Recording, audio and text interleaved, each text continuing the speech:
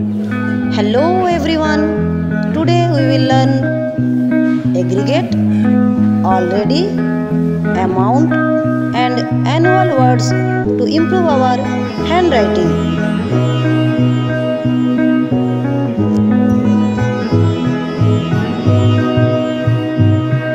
Aggregate